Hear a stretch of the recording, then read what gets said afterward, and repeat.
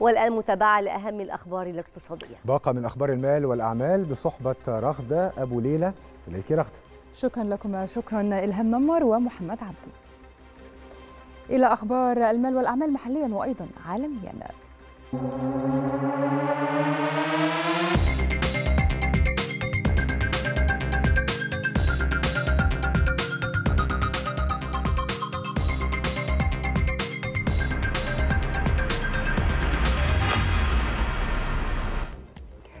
أهلا بكم.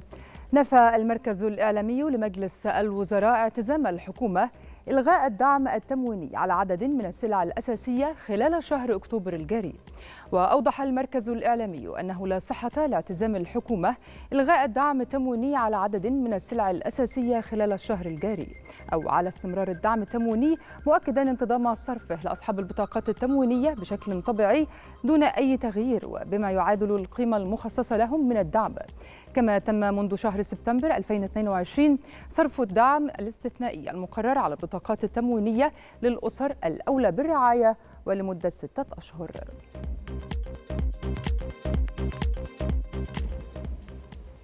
واصل الرئيس التنفيذي للهيئة العامة للاستثمار والمناطق الحرة المستشار محمد عبد الوهاب عقد مباحثات مكثفة مع مسؤولي الحكومة ومجتمع المال والأعمال بلشبونة.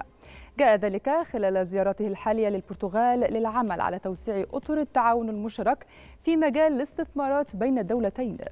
وأوضح عبد الوهاب أن اللقاء تطرق إلى ضرورة تطوير العلاقات الاستثمارية لتواكب التقارب السياسي بين البلدين خاصة مع التغيرات المتتابعة التي يمر بها الاقتصاد العالمي والتي تطرح مزيدا من الفرص نحو التكامل من أجل زيادة القدرات الإنتاجية والاستفادة من المزايا النسبية التي يتمتع بها البلدان.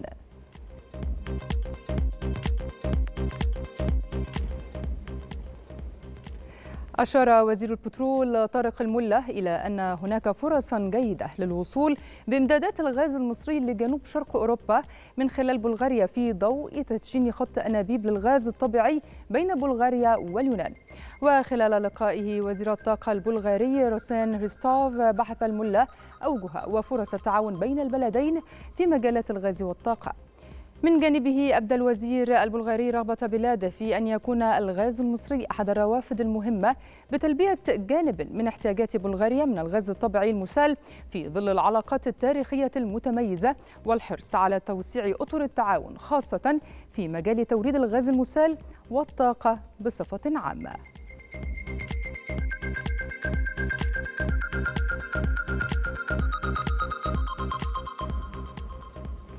أعلن البنك المركزي المصري عن ارتفاع الصافي الاحتياطي النقدي من العملات الأجنبية بنحو 56 مليون دولار بنسبة 16 من 100%.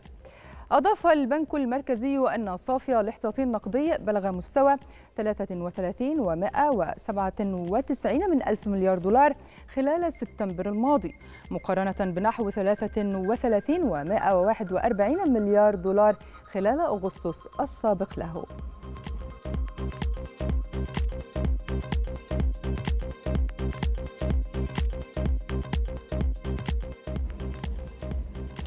إلى سوق المال حيث تباين أداء مؤشرات البورصة المصرية لدى إغلاق تعاملات اليوم الأربعاء ختام تعاملات الأسبوع وسط عمليات شراء من قبل المؤسسات وصناديق الاستثمار العربية والمحلية. قابلها عمليات بيع من قبل المؤسسات الأجنبية والمستثمرين الأفراد.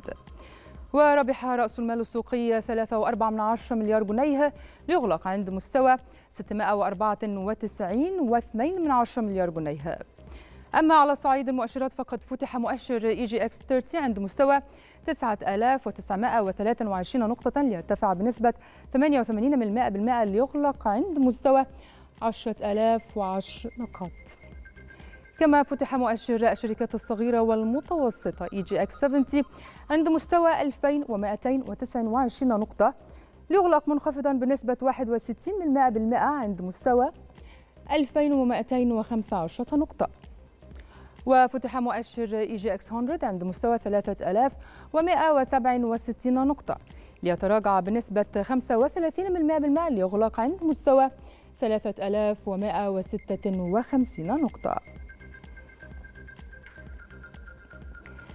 اتفق أعضاء منظمة الدول المصدرة للنفط أوبك وشركائهم في إطار تحالف أوبك بلس في ختام اجتماعهم على خفض الإنتاج بواقع مليوني برميل يوميا بنوفمبر. ستجتمع لجنة المراقبة الوزارية لأوبك بلس كل شهرين لمتابعة مستجدات السوق. وهذا أكبر خفض منذ ذروة تفشي جائحة كورونا عام 2020